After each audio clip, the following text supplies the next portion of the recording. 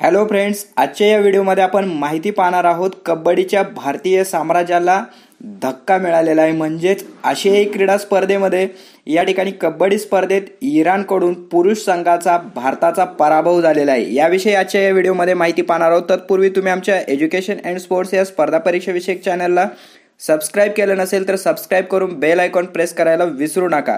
पाहूया आशियाई कबड्डी स्पर्धेत भारताच्या मक्तेदारीचा फुगा फुटला. साखळीत कोरिया विरुद्धच्या पराभवाने त्याला तडा गेला आणि उपांत्य फेरीतील इराण विरुद्धच्या पराभवाने तो फुटला. इराणने उपांत्य फेरीच्या लढतीत भारताचा सत्तावीस अठरा असा पराभव केला. आशियाई स्पर्धेत कबड्डीचा एकोणीसशे नव्वदमध्ये समावेश झाल्यापासून सलग सात सुवर्णपदके भारतीय संघाने पटकावली होती. म्हणजे एकोणीसशे नव्वदपासून आज तागायतपर्यंत विजेतेपद मात्र भारत देशाकडे राहिलेलं होतं. मात्र आठव्या सुवर्णपदकाची लढत ही भारतीय संघ खेळू शकला नाही. इराणची गाठ आता कोरियाशी पडेल. त्याने पाकिस्तानचा सत्तावीस चोवीस असा पराभव केला. भारत पाकिस्तानला ब्रॉन्झ पदकावर समाधान मानावे लागले. अबोजर मेघनानी आणि फजल अत्राचली या तगड्या कोपरक्षकाकडून भारताच्या एकही चढाईपटू सुटू शकला नाही. अजय ठाकूर राहुल चौधरी प्रदीप नरवाल राहुल चौधरी रिशांग देवाडेका दीपक हुड्डा असे एकापेक्षा एक सरस चढाईपटू आज आपला लौकिक राखू शकले नाही.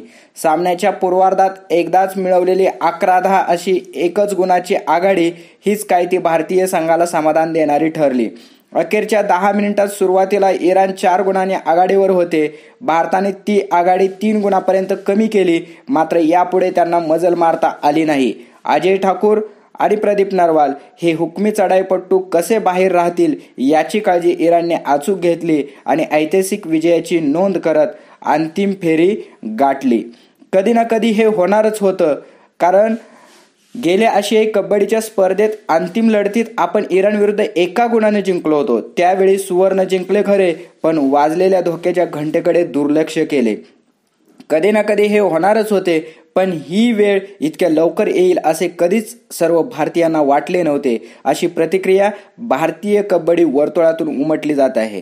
याचबरोबर हा पराभव जो आहे तो सुन्न करणार आहे जी कबड्डी जी भारतीयामध्ये फोपावले आहे याच कबड्डीत आता आपल्या मक्तेदारीला शह बसतोय.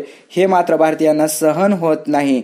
पण हे होणारच होते. प्रो लीगच्या माध्यमातून कबड्डी वाढली. प्रति प्रतिस्पर्धी संघ अभ्यास करू लागले. आपण मात्र अभ्यासाकडे दुर्लक्ष केले. या पराभवाने आत्मचिंतन करताना आपल्याला शून्यातून सुरुवात करावी लागणार का? असे विचारल्यावर काही जण किंवा जाधव म्हणाले अगदी शून्यातून नाही पण नव्याने जरूर विचार करावा लागणार आहे. पण त्याचा शोध घेण्यासाठी नेमके प्रयत्न होण्याची गरज आहे. या स्पर्धेत निवडलेला संघ हेच सांगतो. स्पर्धेसाठी निवडल्या संघात तज्ज्ञ कोपरारक्षक नव्हते. दुसरे म्हणजे प्रशिक्षकाकडे नियोजनाचा अभाव होता. राजू भावसार यांनीही प्रशिक्षकावर ताशेरे ओढले. ते म्हणाले कबड्डी वाढली पण त्याबरोबर आपण अपडेट राहिलो नाही. दुसरे म्हणजे प्रशिक्षक काय करत होते ते कळलेच नाही. राम मेहेर यांना केवळ आपला धाक ठेवायचा होता असेच दिसून आले. खेळाडूंना व्हायसच नव्हता. खेळाडू कसे वापरायचे कोणाला कधी खेळवायचे हेच त्यांना जमले नाही. आणखी एक आघाडीची खेळाडू सुमती पुजारीने असे घडायला नको होते असे सांगितले. ती म्हणाली भारत हरलाय यावर विश्वासच बसत नाही. असे घडायला नको होते. कधी घडेल याचा विचारही मनाला शिक शिवला नव्हता. पण आता सत्य स्वीकारायला लागेल. पुरुष संघाच्या संघ निवडीपासून उणेवा होते असे वाटते. आपल्या महिलांनी या पराभवाचा वाचपा काढला तर त्याची भरती होईल असं या ठिकाणी म्हणता येईल. कारण महिला संघ जो आहे हा महिला संघ मात्र अंतिम फेरीमध्ये पोहोचलेला आहे आणि त्याची लढत मात्र इराण विरुद्ध होणार आहे. भारतीय महिला संघाने सलग तिसऱ्यांदा अंतिम फेरी गाठून भारताचे किमान रौप्य पदक निश्चित केले. अंतिम फेरीच्या लढतीत त्यांची गाठ उद्या इराणशीच होणार असून त्यांच्यावर आता पुरुषांच्या पराभवाचे दडपण राहणार आहे.